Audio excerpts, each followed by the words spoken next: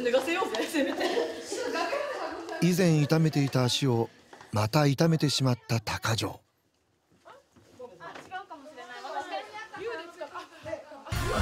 前回の取材でキャンディーゴーゴーは元気いっぱいだった。しかしそれからしばらく故障者が続出。2ヶ月後のこの日は新メンバーお披露目の大切なライブ。グループとして万全の体制を整えてきたはずだった。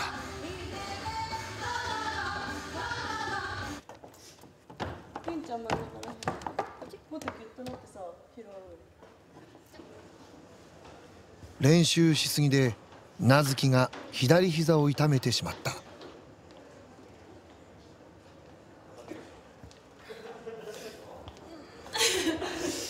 いつもできてることができないから。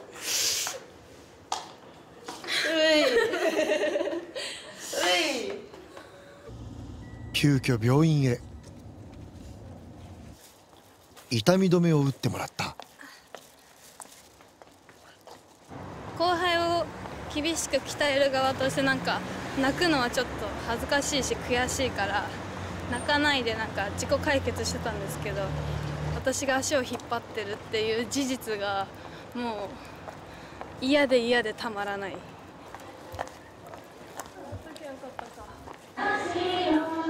エンタと磯野はまだ学生練習の遅れを取り戻すため2日前朝4時まで公園で特訓した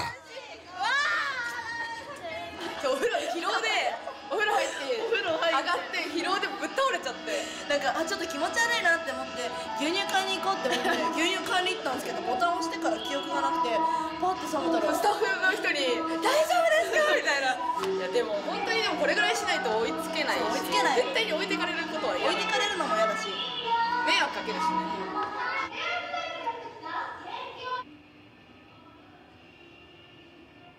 お休み中です。多分寝不足です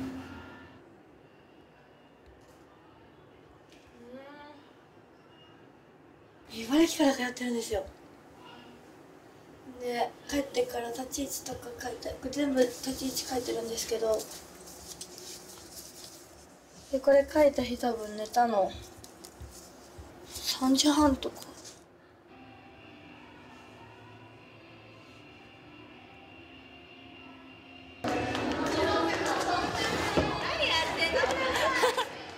寝起きで暴れる渚。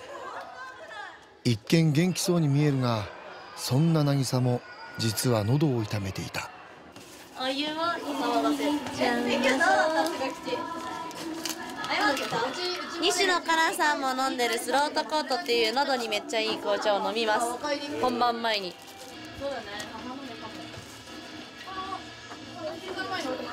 熱っ。もう足パンパンで新曲の練習毎日やってでもある意味女子力高いよねガラガラガラガラ。女子力高いよ。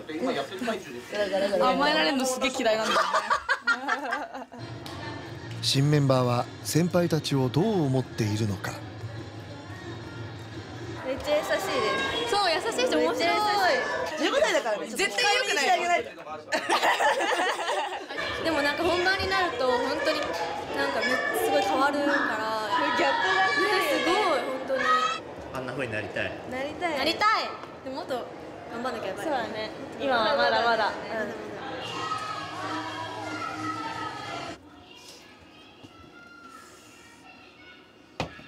いけそう。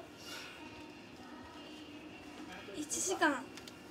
なんとかなるかもしれない。はい。みんなで力を合わせて頑張っていきたいと思います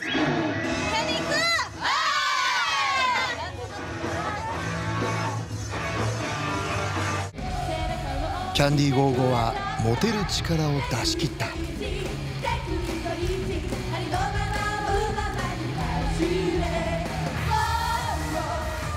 次は5月のワンマンライブに向けて全勢力を注ぎ込む。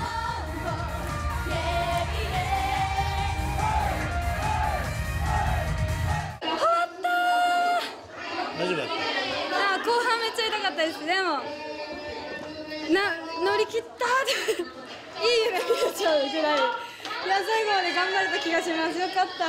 諦めないでよかったです。